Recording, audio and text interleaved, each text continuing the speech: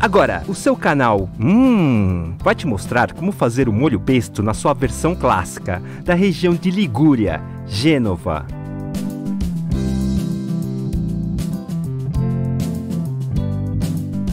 Se você é novo por aqui, eu te convido a se inscrever. Assim você fica sabendo dos nossos novos vídeos. Você vai precisar desses poucos ingredientes.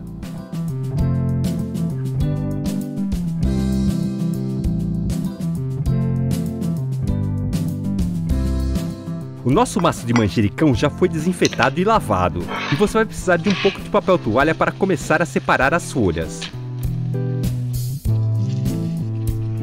Eu uso essa tesoura de poda, mas você pode fazer com as mãos mesmo.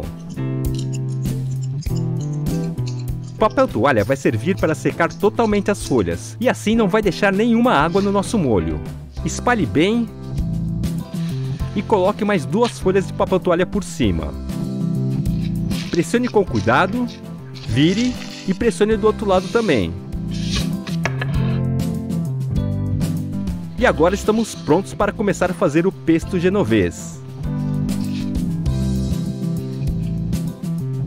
Eu vou usar o mixer, mas você pode usar o processador ou mesmo o liquidificador. Vamos começar com 3 colheres de sopa de azeite. Então adicionamos o alho. Eu prefiro ir triturando os ingredientes aos poucos, deixando o manjericão para o final.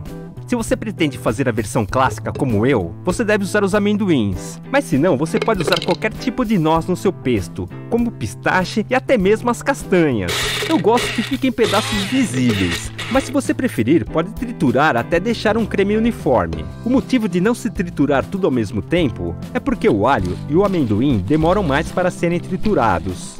E o manjericão é uma erva muito delicada. Fazendo assim, você ainda terá pedacinhos dele, e não somente uma pasta.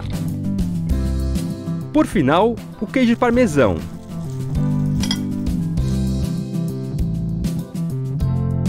E também apenas uma pitada de sal.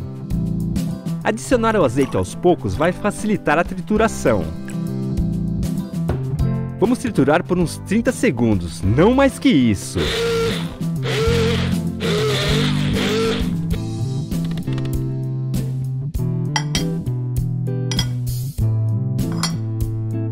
E no final, deve ficar com essa consistência. Você pode usá-lo no espaguete, no frango, no salmão e até no sanduíche. E é por isso que o pesto é o rei dos molhos verdes.